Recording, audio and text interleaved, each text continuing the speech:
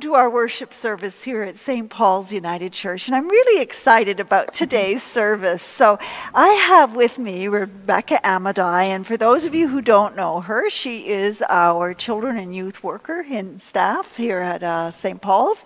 You've heard her sing, and some of you would have seen her play the what is that toy? Oh, the xylophone. The xylophone. yeah. I, that was so precious. It was such, and the kids loved that. So anyhow.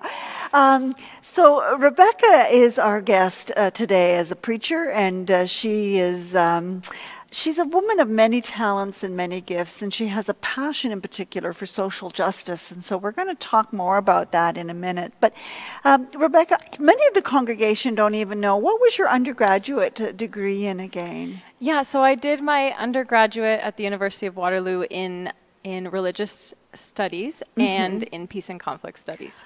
Ah, oh, what an interesting combination. And it is a combination, but people don't usually connect religious right. studies and social justice. But yeah. we in the United Church certainly do.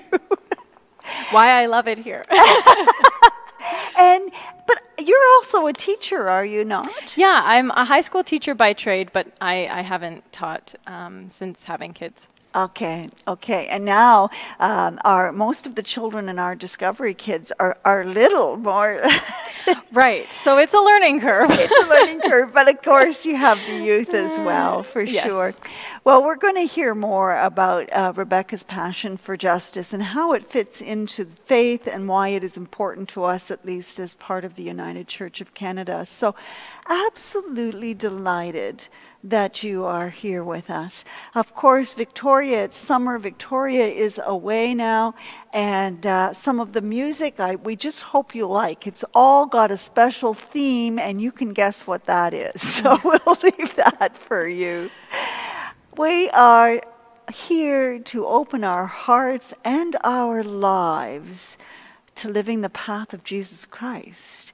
And it means delving into the issues and the realities of the world. So let us worship our God. I want to acknowledge that we are on the traditional lands of the Huron-Wendat First Nations people, and that we seek to be in right relationship with Beausoleil First Nations. We have had a painful and tragic past. May we together work for a more wonderful, honoring, and dignity-filled future. Creator and loving God, we open our hearts today to hear your call to do what is good for one another and for our earth. May we hear the call of all peoples and lands to create a world where everyone is celebrated, nourished, and loved. May our hearts and minds be open today to remembering Jesus' example that there is work to be done to bring equity and freedom to all. May our hearts and minds be open to learning a bit more, to seeing things a different way, to seeing the world through the eyes of our future generations. May we be moved to serve one another and our future generations by working for equal human rights and environmental preservation. Amen.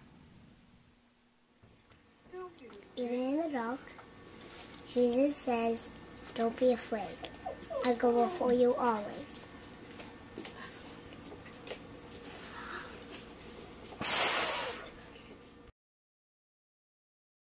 Hello, friends. We're going to sing What Does the Lord Require of You? This is a setting of Micah 6 8 from the Hebrew Scriptures. It's a song designed for three parts, so we're going to divide the room into three sections. Uh, section 1, Section 2, and Section 3. Now sometimes people like to sing, who have low voices like to sing the first part, and uh, people with middle voices would sing the second, and people with higher voices, along with children, can sing the third. We're going to do each part two times, and then we'll start at the beginning, adding each voice in, and it will be beautiful if you sing out boldly. So here we go. What does the Lord require of you? What does the Lord require of you? What does the Lord require of you? What does the Lord require of you?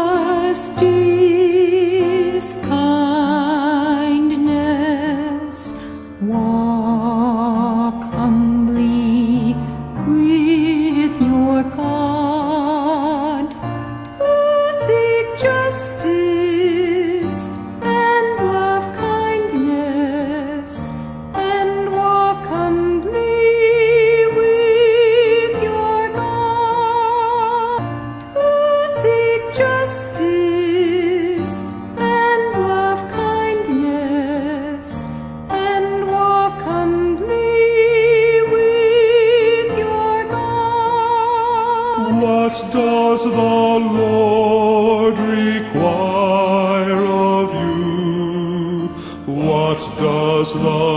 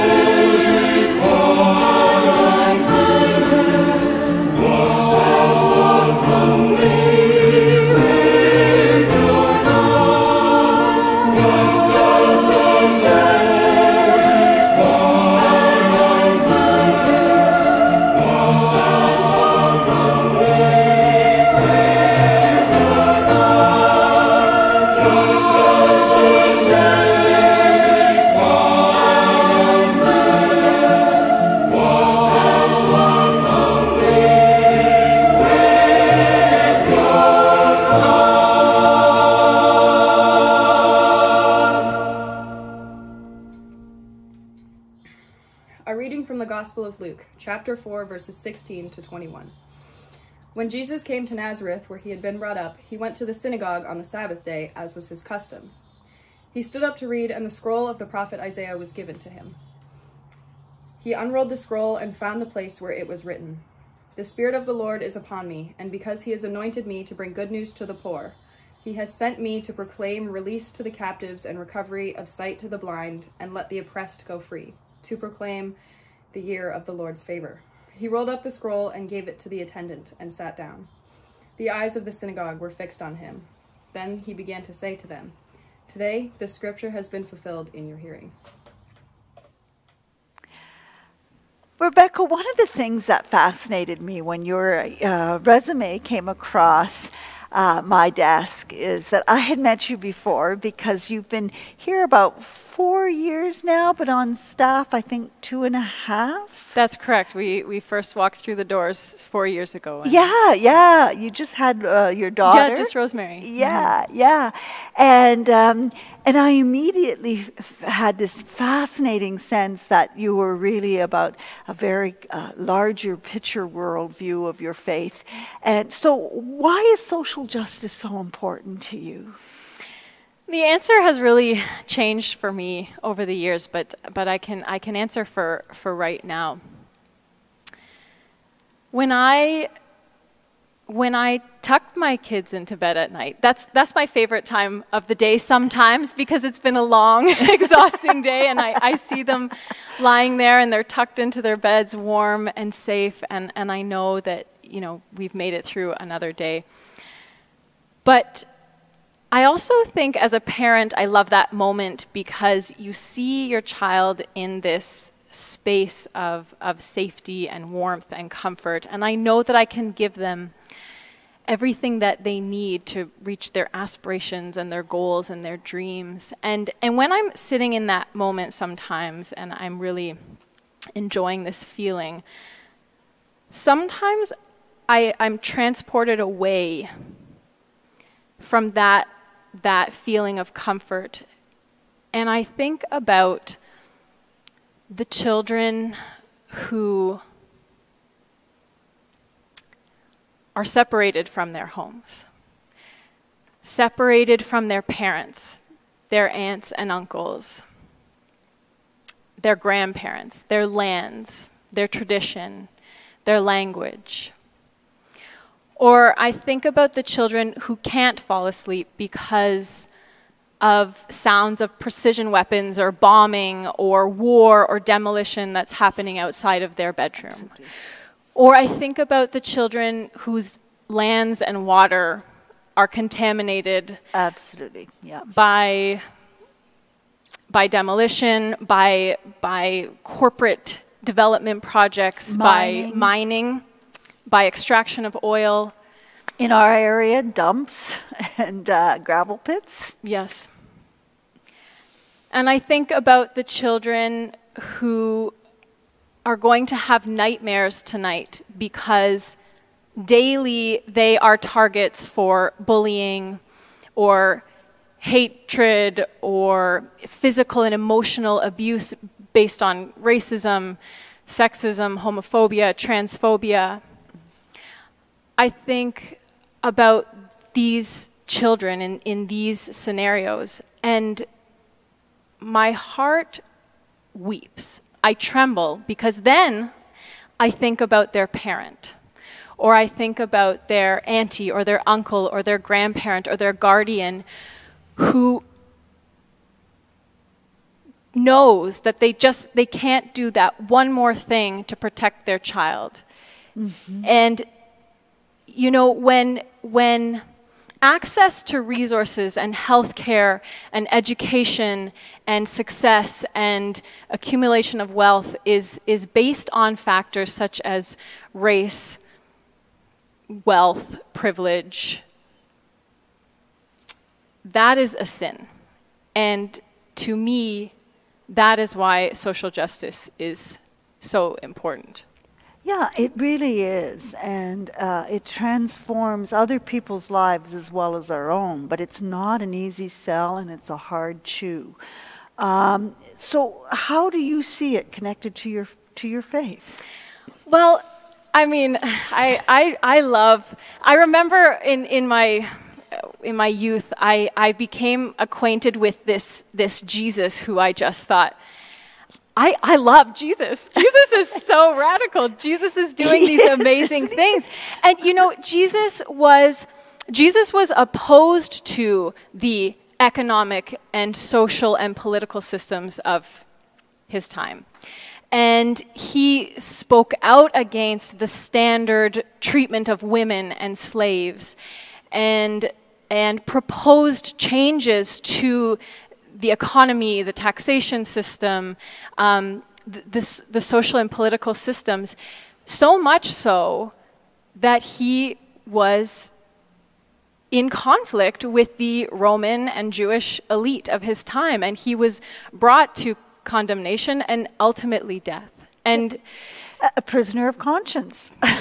I, absolutely, absolutely. And and you see this. This is and a prisoner of conscience you know sometimes they just get really bad rep. Like th- this is not this is not a popular or fashionable or um, you know it's not a romantic way to be right? But this is this is the, the the path that jesus led. And so as a disciple as a follower of christ i feel that i have no choice but to stand up and, and stand out against injustices and, and um, environmental degradation. I, I have no choice but to stand up and stand with the people whose voices need to be heard. Yes, yes. And it's uncomfortable.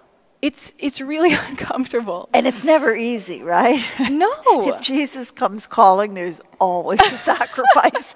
that's, that's my little warning label. Hey, this Jesus can really muck up your life. If you want a lovely pretend romantic princess or prince king kind of life. you know, right. That's not, this, you're not going to get that here. Jesus is going to roll his eyes. right right and and so that's why social justice and and you know i know that there are theologies out there that will say that the social justice rhetoric is a distraction from the gospel me- message but i believe it is integral and fundamental to the gospel Yes. message and to what what jesus shows us Well, sure. And even in the very basic of love your neighbor as yourself, that's a call to justice. You know, you can't have everything and lots of people have nothing and say you're loving your neighbor as yourself. I mean, it, it comes right down to some very basic principles, doesn't it?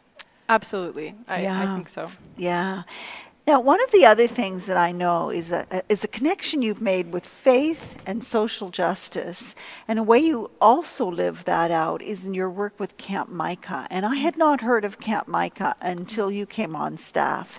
And we talked about it and actually encouraged our youth to go to it. And now I believe the United Church of Canada is. Yes, uh, I'm very excited. We're, about we're working on, on getting uh, Camp Micah endorsed by, by the United Church of Canada, so that's really exciting for us. Yeah, yeah. So tell me a bit about that project and why it's part of your faith and Sure. social justice. Yeah, so Camp Micah is a, a five day ecumenical youth leadership camp for, for high school youth. And um, it, is, it, is, it is rooted in the Christian tradition, but, but we are radically inclusive of, of all people. And um, it's, it's centered around, we, we run workshops and activities and learning around. Um, um, equity, human rights, social justice, um, land justice, um, and and really um, encouraging the youth to build skills and confidence around being um, activists in their home and school communities. Fascinating work. Absolutely. How long has it been going on? Uh, oh my gosh. It has it has roots it has roots in for for many decades in the in the 60s, but um, Camp Micah as it exists as an organization right now is um, nearly 20, 20 Okay. years old. Okay. Yeah. And we're going to include a clip in this, today's service about Camp Micah because it's it's really neat and you get to hear some of the voices of the youth themselves. And so when you sent me that link, I thought, "Oh yeah, like let the let yet the yet let the youth speak for themselves." Unfortunately, we won't be able to run this year because of the the pandemic Yeah. again. Um, Lots of camps have faced that. yes, so we have some very sad youth, but but we do still want to encourage youth to apply for next year. Absolutely. But it's really important because it's also a time of formation as uh, going into adulthood.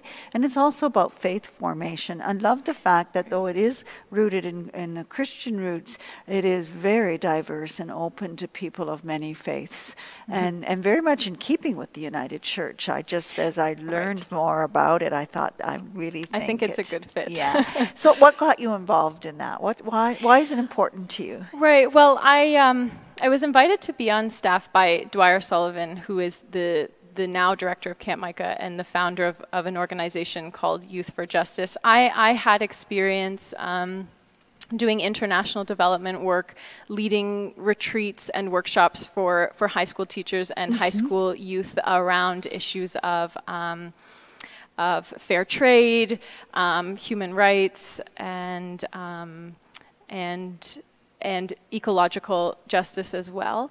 Um, and I was working at the University of Waterloo, um, helping to facilitate some international development work as well. So at the time, I had um, it was a good fit for me, and, and Dwyer reached out and asked if I would be on staff, and. Um, yeah, I, I, I stay with Camp Micah. This is maybe leading into your next question. Okay, but, yeah, uh, yeah, yeah. I, I, I stay with, with Camp Micah because, um, for two reasons. One, one because it is, um, it is the type of faith community that I, I want to belong to, and it's the type of faith community that I want my children to belong to. So um, I'll never forget, it was maybe 20, 2017, I think it was the summer, and we're, we're sitting around the evening campfire. Um, and, and Rosemary is sitting next to me. She was just little at the time. And I am watching this group of um, new Canadian Muslim women. They were participants, so high school youth, uh, doing a traditional dance, and they invited um, this this gay male that we had as a participant at the time to come up and do this dance with them, and um, I I just my mind was kind of blown because here I was sitting, observing. Um, you know this this inter intercultural interfaith thing happening where these um, new Canadian Muslim women are, are doing a traditional dance with a, a queer white Canadian kid. And I, I thought, all of this at a Christian camp. Like, Yes. this is How good does it yes, get, right? This is what I want for myself in my faith community and for my children. And, um, and the other reason why I stay with Camp Micah is because I, I think youth actually have what it takes to make impactful change in the world. They have this like perfect combination of passion and energy day and night you know coupled with just the right amount of recklessness and they and they have this is what it takes right so I think so. so for me, it's the youth who, who can do this work, and and um, Not that we have excuses not to be part of it, but they absolutely. can, you know, go lead us too. Yeah. yes, and they are an example to me. And so, you know, each year I go back, I, I am reminded of this energy, and I'm I take a little bit of their energy that they that they offer so freely. You know, so the youth, I think, are are the way forward. Absolutely. So just um, to wrap up, Hmm. you've been. We, we just love having you here at St. Paul's. We we just really you and Ryan and the and the kids. Um, Thank you. We love it here too. so, what are your hopes and, and dreams for St. Paul's and uh, along social justice? Right. I I actually I'd like to start by champion some of the thing championing some of the things that you that you are already doing. Um, things that um, I, I come from a, a Roman Catholic background, and so for me, one of the things that, that drew me to the United Church and specifically to St. Paul's is, is um, because of some of the, the more progressive and, and equitable things that you, that you do here. And, you know, such as, um, you know, providing accessibility work and accessibility training for your for your employees and your volunteers, um, making your your building accessible. Um, your connection with, with Waypoint, your connection with the Midland downtown community, um, specifically those who are experiencing uh, homelessness and addictions, your, your commitment to the guest house, which is your, your physical neighbor. Your, I, I remember being struck by your having, having gender non-binary um, washrooms available in your in your facility, and um, and here's a big one and one that I, I I take for granted. Thankfully, I take it for granted, but um, but it's a big one. Um, your your minister is a woman, and this is. In case you didn't know, your minister is a woman, and this is not a thing that is happening in every in every faith community. Um, I know that in the United Church, you can have ministers who are gender non-binary, who are are LGBTQ, who are women, and um, it's it's um, unfortunately it's a radical idea for some communities, and um, we have had children at Discovery Kids uh, point that out that Karen's a girl. like, they're just amazed. So, you know, these are some things that St. Paul's already doing, and I, I, I think these are some of the things that are attracting young families, actually, I know this for a fact because I've had conversations with young families. These are the things that are attracting young families to this type of faith community. And so um, let's champion some of those things, and um, I think it's great.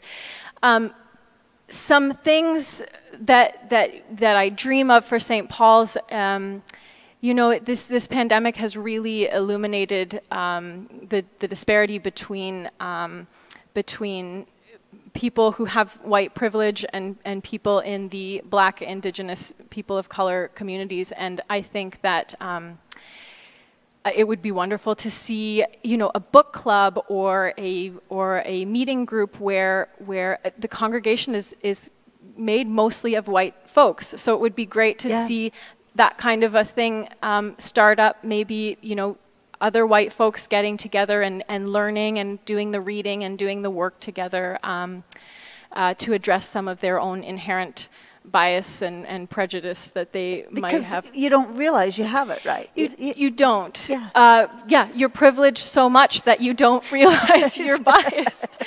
And, and so, you know, it's, it, we know it, this last year has been very clear to us. We know now that it's it's the job of, of the white folks to take up that work, and mm -hmm. so um, mm -hmm. you know something like that. Um, I also um, it's it's great to hear that you've been doing some some conversations around um, sponsoring another refugee family. Yeah, we, have committed to one from Syria, mm -hmm. and we've been approached about helping yet another family. So. Uh, 16 in six years. This next family is a family of eight, and if we agree to the next one, it's a family of six. So wow, yeah, in Midland, which is not diverse, but needs no. to be. But right, it, yeah. which makes it tricky sometimes for those for those families to integrate. Exactly. But um, it is exactly. it is definitely a launching point for them to to come Absolutely. into Canada.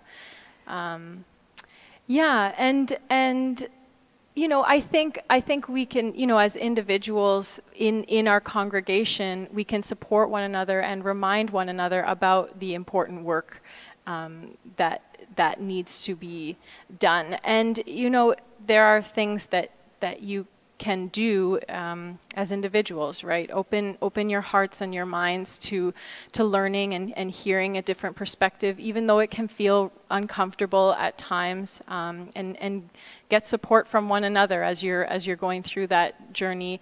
If you have the means, you can support uh, local. Um, local businesses and and um, you know try and get some of your some of your products more locally and and local produce and things like this. Um, and and yeah I, I wrote down a few other things that I'm hoping that I don't that I yeah. Yeah I think I think uh, another thing that I uh, by the way, I talk about environmental justice when I talk about social justice because to me they're they are um, they're profoundly connected oh, and one and the same. And absolutely. we know that um, environmental degradation disproportionately affects people who are um, in in uh, who are not in in the privileged scenario. Um, and so um, and and furthermore, uh, many of the systems that are responsible for land degradation are the same systems that are responsible for, for you know, oppressive, oppressive um, ways and, and oppressing people. So, um, yeah, yeah, I, I think so we're going to have to wrap okay. it up, I think. But you know what? this this is a conversation that we need to bring back. I think mm -hmm. this has just been Great. absolutely wonderful. Um, ah, so happy to have you and your family, you. part of St. Paul's, and for the leadership you give. And it's a heartfelt thanks, not just from me, but from the whole congregation. So thank you very much. We're very grateful to be a part of this congregation. Yeah, great, great. Giving you some things to think about.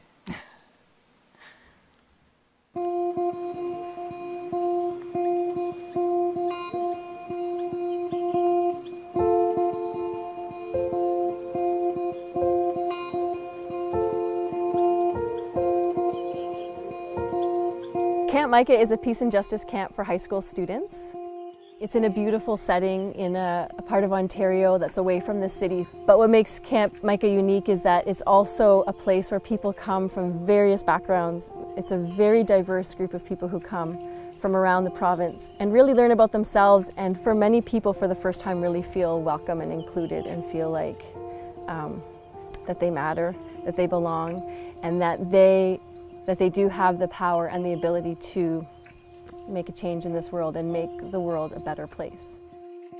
Camp is the place where you're not judged for your opinions. Like you can say what's on your heart. So it's a great place for somebody to come and spend the week here because you will gain so much from just one week that you'll use like for the rest of your life.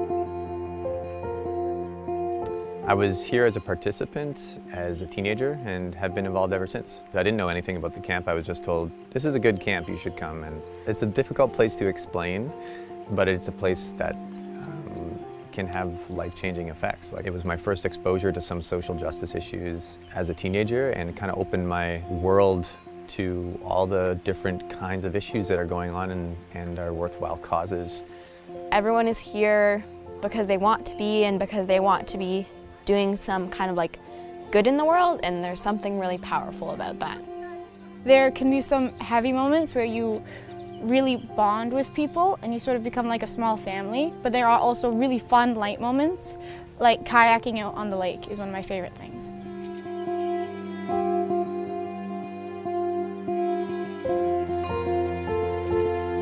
This is my first year at Camp Micah and I'm so excited like to do everything. I really want to try swimming and I want to work hard like on swimming to like get it. I came and I just felt really welcome. Everyone's not just accepting but embraces who you are.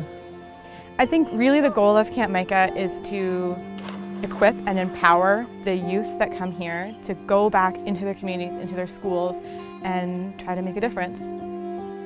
I come back every year because of the, the transformation that happens between the first day and the last day of uh, people who come as strangers. And then as the week progresses, the barriers begin to fall. People get more and more comfortable with each other and um, they're learning about some of these issues uh, around justice uh, that maybe they're encountering for the first time. I learned it's okay to be brown, it's okay to be gay, it's okay to have long hair if you want to have long hair. It's okay to be who you are, it's okay to advocate for others who want to be who they are. Being a leader is not necessarily being the person in charge or on top or even the person who's the loudest or the most famous or the most recognizable person doing something. It's about feeling empowered to do the right thing. It's being empowered to make change. It's being empowered to include others and working towards a world where people feel like they belong, people feel included, and people feel like they are good enough. And, and they have what they need.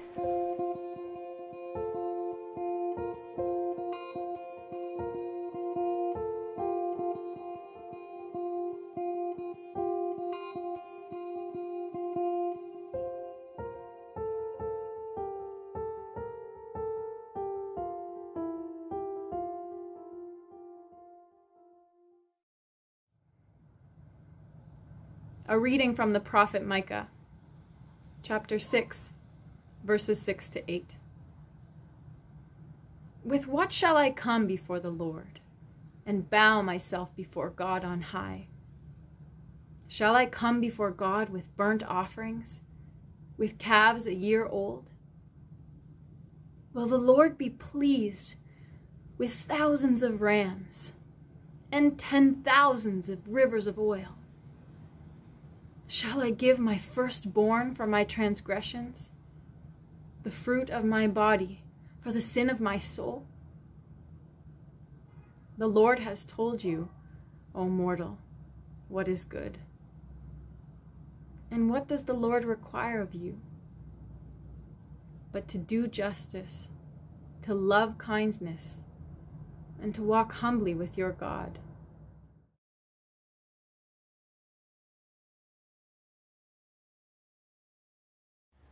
Gracious and loving God, creator of all things, we raise our hearts to you. in gratitude for all the beauty that surrounds us. May we continue to work in your ways to bring peace and security to all people and lands. All of humanity is a gift from you that we ought to cherish and treat with dignity and respect. Even though we may grow tired and weary, may we support and uplift one another to persevere, to believe that a world where everyone belongs and is treated as equal is not only possible, it is essential.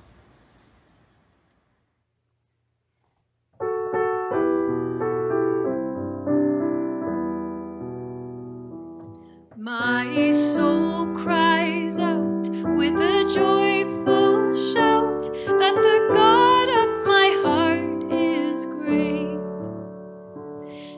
my spirit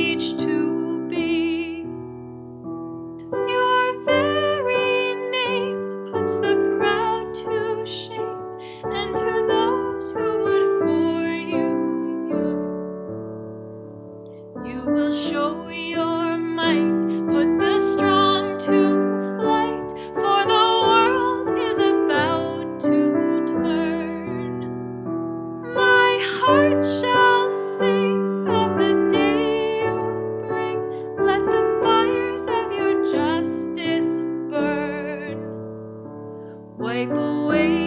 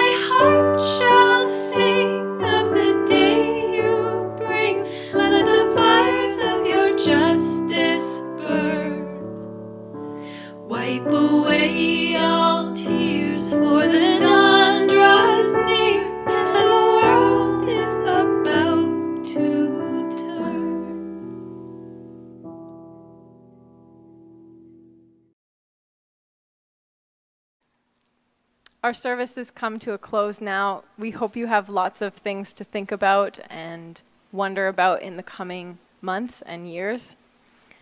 As we go forward, we remember the prophet Micah urging us to act with justice, to love kindness, and to walk humbly with God. And as we leave this place, we know that the Jesus we follow was radical, changing the world around him and always including those who were considered to be on the margins of society.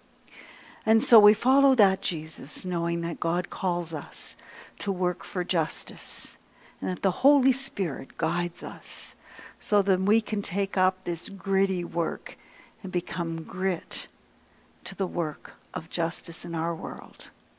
Go in peace. Amen.